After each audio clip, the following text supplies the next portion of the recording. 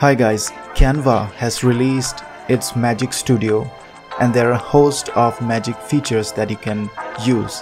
But today in this video, I'm going to show you this feature, text to image and text to video feature. So first of all, let's go to text to video feature. Now quickly head over to canva.com and here you will find this Magic Studio.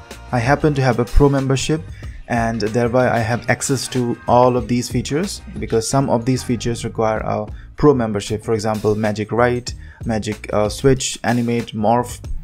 So let's go to text to video. And here we can just put in a prompt put in a text prompt and get a video output.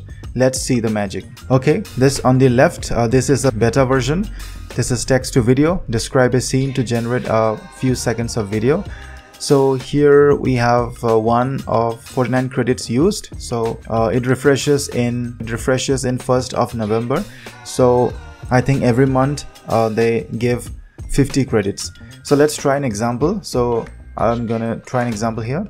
So old books sitting on a desk near a window professional cinematography. So we create and generate video and let's see the output so there are a host of other features that uh, Canva has released and uh, let it generate and if I head back to the videos uh, to the features uh, let me describe uh, each one of them. So magic design you can uh, design Instagram post magic design for presentation.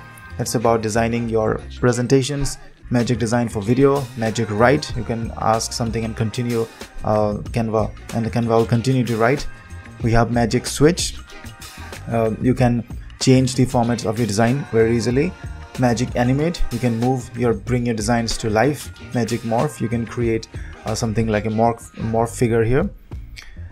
We also have magic edit. Uh, this is like the uh, photoshop adobe uh, generative fill feature.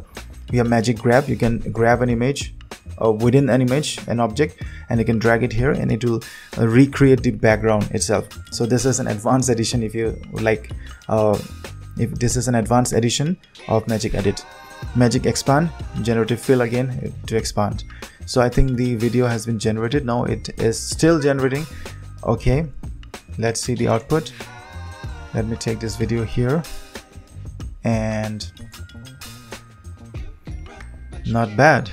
It's pretty cinematography it's good. Not bad. But this is just uh, this is just 4 seconds of video. That's all for this video. If you like this content subscribe to this channel and uh, like and share this video. I'll see you next time. This is your host prompt engineer signing off. Bye bye